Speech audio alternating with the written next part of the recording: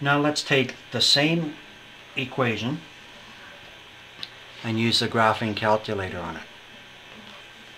Okay, so I'm going to move this up a tiny bit. Turn it on. So there is the equations that I've typed into my graphing calculator. I've typed in the left hand side x cubed minus 7x minus 6. I've typed in the right hand side of 0 as my second equation and I hit graph and there is my graph. The windows that I've used are negative 5 and 7 and negative 15 and 5. Okay, so please make sure that when you are answering it by graphing, you put in your window dimensions here or you're going to lose half a mark. Okay, so again, they were negative 5 and 7 and negative 15 and 5. So negative 5 and 7, that's the, the X windows. And negative 15 and 5 are the Y windows. And the equations I've used are y1 equals x to the power 3 minus 7x, uh, sorry, minus 6, and y2 is 0.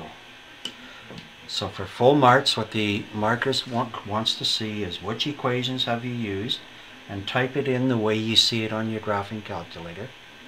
What are the windows? Then you can actually sketch the graph and make sure when you sketch this graph that you've allowed yourself to get the full loop in here and the full loop down there.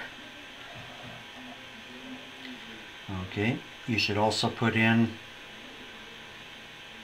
some of the tick marks and put in some of the numbers.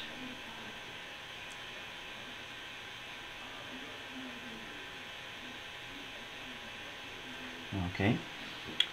Now, to check on our intersection points, uh, I'm going to use second, sorry, I'm going to use second, calc, and 5. Okay. I'm going to use this little arrow blobby so that I can get the blob over top of the first intersection and then I'm going to hit enter button three times. So one, two, three. And what that do, does is give me my first answer of x minus 2 and y of course is 0.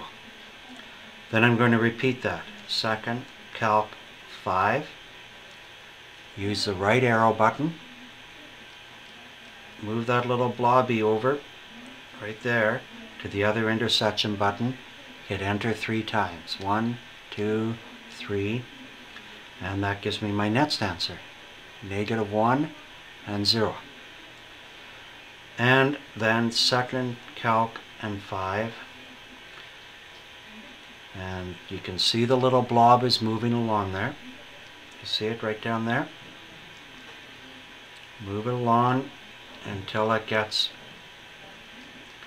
really close to the intersection. Whoops, I went a bit farther on.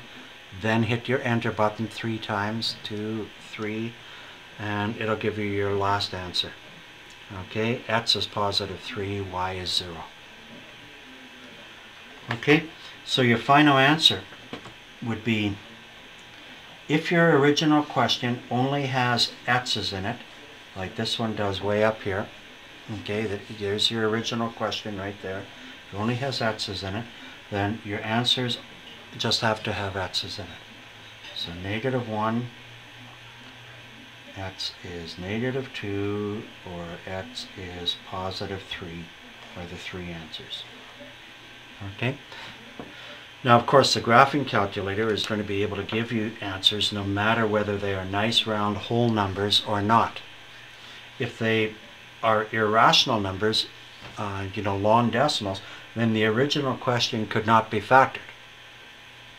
And synthetic division wouldn't have helped you because the original question could not be factored.